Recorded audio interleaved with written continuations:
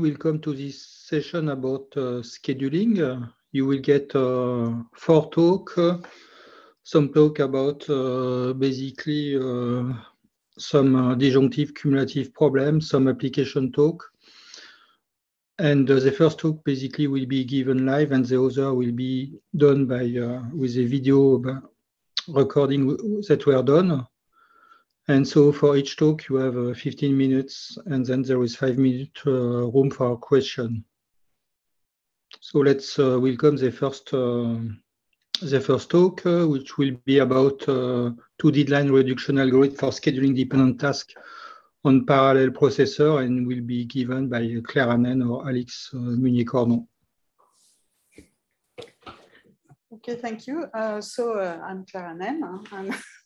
And um, so I'm from uh, uh, LIP6 at Sorbonne University and Nanterre University, and uh, it's a joint work with Alix, uh, who's there, and uh, who works also in LIP6 at Sorbonne University. And Theo Pedersen uh, was an internship of last year, and, and he's now in the industry. So um, brief overline of our talk. Uh, I start, of course, with uh, the definition of our problem, then a, uh, a very short insight into uh, the state of the art due to lack of time.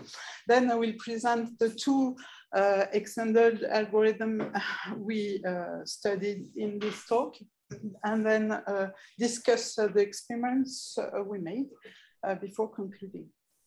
So what is our problem? it's a very old and simple setting uh, of problems. So we are given a set of tasks that are uh, uh, linked by uh, precedence uh, uh, relations. And each task has a, a time window, a release time, and a deadline. And um, uh, there are m parallel processors. So in this example, m equals three. And uh, the, we are interested in the decision problem, uh, whether there exists a feasible schedule that respects uh, both precedence constraints and time windows. And um, in fact, this problem is, is usually used also to, to solve optimization problem like uh, uh, minimizing the lateness, for example, or, or many other criteria. So it's kind of basic tool. And of course, it is NP-hard even for very simple instances uh, if uh, unit processing times are assumed, or uh, for example, if um, we remove a precedence constraint, it is still NP-hard. So one of the techniques uh, that are uh, that is used uh, for uh, pre-processing uh, this problem is to try to adjust uh, the time windows by either decreasing deadlines or increasing release times.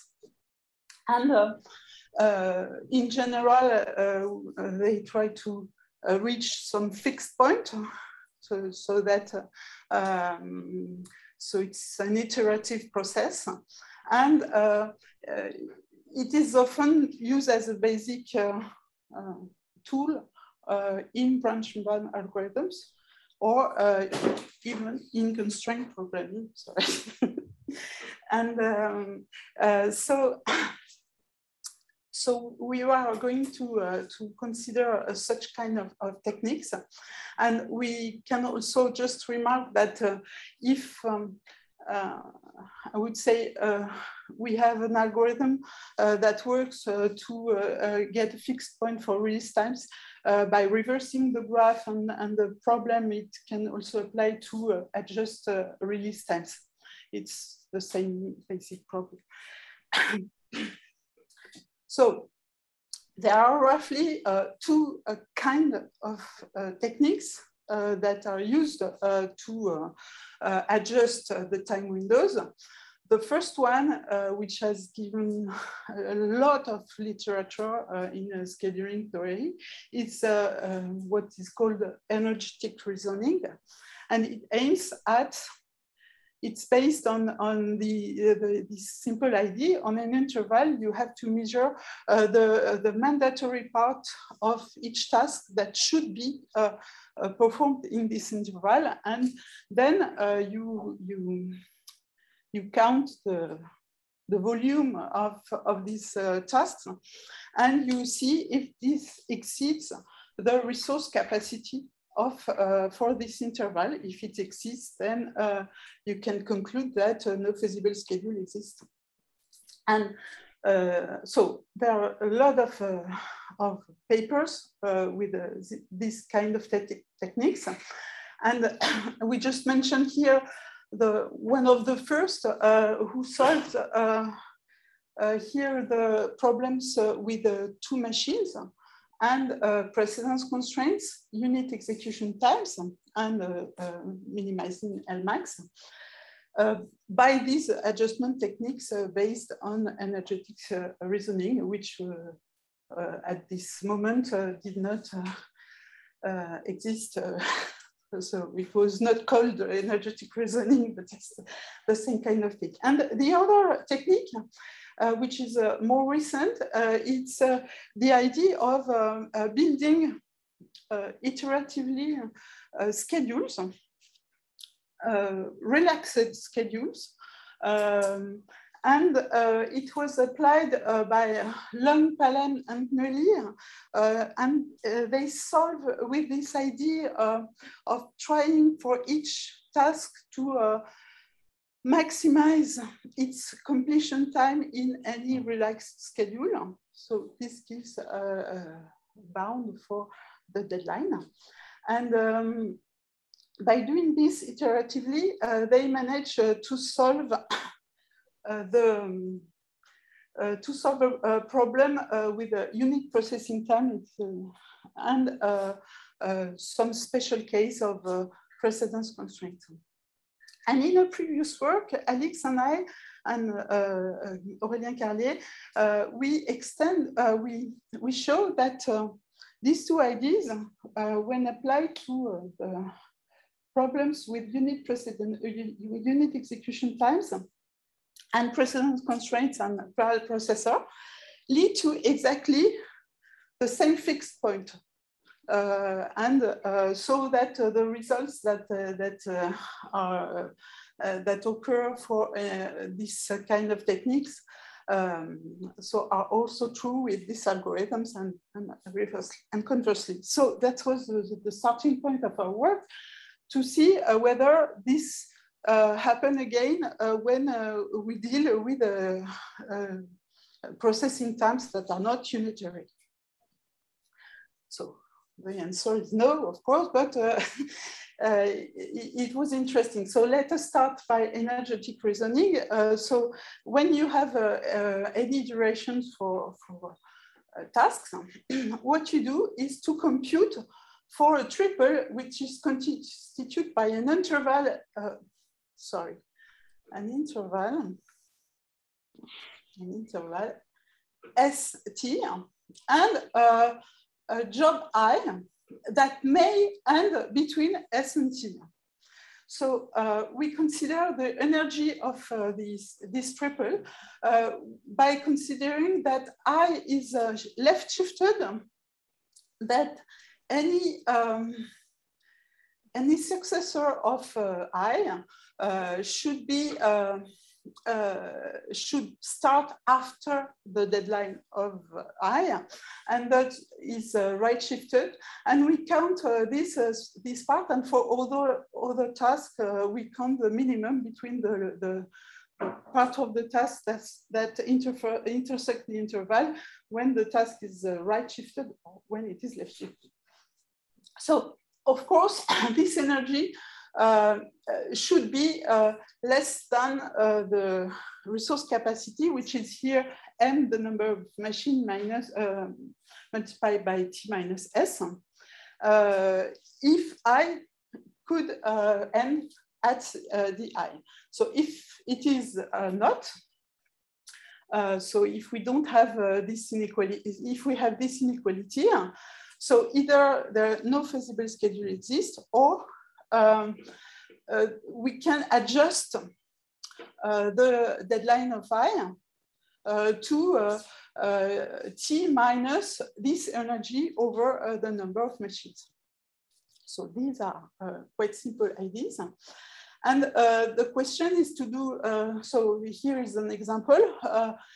for example, if, we, if we get a time interval from one to, to five, uh, then uh, A, when it is left shifted, uh, is, has a value zero in the energy, and the other task, we, we sum up the processing times, which makes uh, 12. And uh, this leads to uh, the, the conclusion that the, um, the deadline of A can be moved to be equal to one, equals to. So the, the problem is how to enumerate uh, uh, with uh, some uh, tools the triples IST to do this iteratively until a fixed point is reached. And uh, in fact, um, uh, there have been many work on problems without precedence constraints that define uh, dominant uh, intervals for this kind of, uh, of adjustment. And we, we, inspire, we were inspired by this work to uh, define dominant triples. And we embed this in the Garey-Johnson algorithm, which uh, computes iteratively with uh, three nested loops on T, then on I, then on S. Uh, to uh, either detect feasibility or uh, reduce deadlines. and this will lead to a polynomial, but rather a high complexity algorithm, but still polynomial. um, and um, there is a, a, very natural improvement, uh, which may seem small, it's just by considering that in the energy, we can uh, uh, um, shift I to uh, the right so that it ends exactly at its deadline. So this will lead to uh, other uh, conditions and stronger conditions and stronger adjustment. Unfortunately, this uh, works, but uh, then if we embed this in the Garey-Johnson algorithm, it uh, leads to a pseudo-polynomial algorithm and not a polynomial as previously. So I will uh, give. so I will sum up the, second part of the, of the talk. Uh, on suivante Next. Next. Okay. Uh, next one. So in a few minutes, uh, the uh, next one, please. Yeah, This one? Just once. like this. Okay. A short cut. Okay. So uh, now I will present in two words uh, another way to uh, to do this this adjustment. The idea is, in fact, let's consider, we start with, uh, with task I. Uh, if we have a task I, it is quite easy to evaluate for any other task the, the length of the uh, of the, long, the longest path in the graph from i to uh, i to g. We will call this value Lig. And we will also define uh, the set n depth here as the task uh, g with, without any relationship with i. And then if we, if we suppose that the task I is, is performed at, at, time t, then we can adjust uh, release time and deadlines for only precedence relations. And we define a new problem, which is this one, which is a decision problem co corresponding to the existence of a feasible preemptive schedule of tasks from suc i union in depth i. Notice that i does not belong to this set. And meeting the, the new release times and deadlines. This problem is solvable, polynomially solvable using a, a usual uh, max network flow uh, algorithm. Okay. So from this problem, we define another, from the decision problem, we define another problem called backward schedule, uh, which is whose input is task i, release time and deadline vectors, and uh, uh, it is an optimization problem where we want to find the maximum value T star such that this problem, previous one, is true, meaning that in fact, to, uh, to corresponding to uh, necessary conditions uh, of the whole scheduling problem. This problem is fortunately polynomially solvable using a binary search. So we did use the ALPP adjustment algorithm, which starts by first sorting tasks by decreasing order of the i, and then we adjust uh, successively all the value of the i using this backward schedule algorithm. And of course, this algorithm is polynomial. Uh, it is proved in the paper. So uh, this one, this one. No, really, just shortly, please. Okay, uh, I will skip this one because of the lack of time. Just skipping to the experiments. Yes. Yes. Yeah. Okay. So we uh, we try to compare uh, the, the, the different version of the algorithm. In fact, uh, Leung Palem algorithm against Garey Johnson algorithm.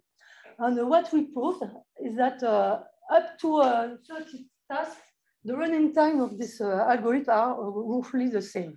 But when it increased, then we observed that the, the two versions of the Garey-Johnson algorithm behave similarly.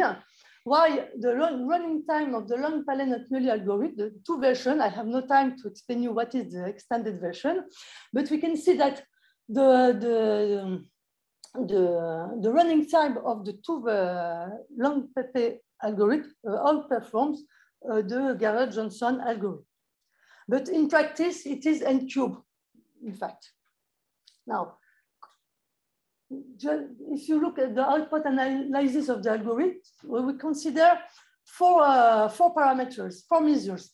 The, one, the first one, the interval shrinkage, corresponding to the, the relative diminution of the, of the uh, uh, Uh, uh, time windows. The, the path width is first the maximum number of interval intersecting one point. So we also measure the relative path width reduction and the number of instance modified and the number of tasks modified. And we observe that we obtain really the same, the same numbers for the strong version and for the weak versions. Okay, but of course, the strong version outperform the weak versions uh, on the, if we analyze the output. Okay, so in conclusion, so in the paper, uh, we study four algorithms for the line adjustment and uh, these algorithms were experimentally, com experimentally compared. Uh, so we, we, we, saw that the strong version of the, the Garey-Johnson on the uh, Leung Palem-Pnueli algorithm are, uh, behave uh, have the same uh, results, in fact. And the weak version have also the same result. But our implementation of the Leung Palem-Pnueli algorithm has a lower complexity than Garey-Johnson algorithm. But of course, it is still n cube.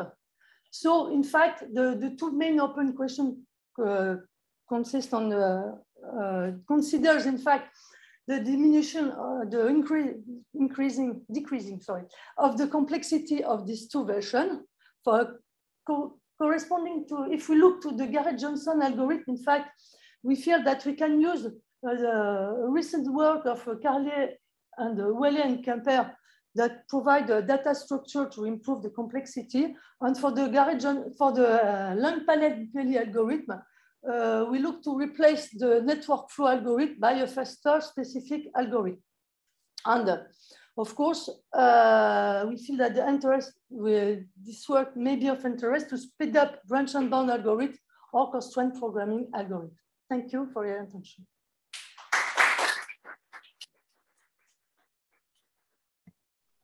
Well, we will have only uh, time for one question, so one short question, in fact. If there is any. Yes, one in the audience. Yes, thank you for, for your talk. So just uh, so if I understood well, you have for all those algorithms uh, theoretical complexity results. And I'm interested, the experimental results where was a huge difference then yes, the, compared the to them? The complexity result was a little bit uh, uh less, in fact, since the, uh, the, the, complex, the, the two, the, the weak versions are polynomial time around n, n4, n4 mm-hmm. uh, multiply a logarithm of the size of the, of the windows. And uh, for, the, for the strong version, we have no uh, polynomial bound for the algorithm. And in fact, if we look in your, in, your, experiment, it's, it's around n cube. So we feel it's a little bit more, it's too much, but it's, uh, it's quite less the, the, um, the theoretical evaluation or a theoretical evaluation. Okay, thank you. Okay, so thank you for, for this talk.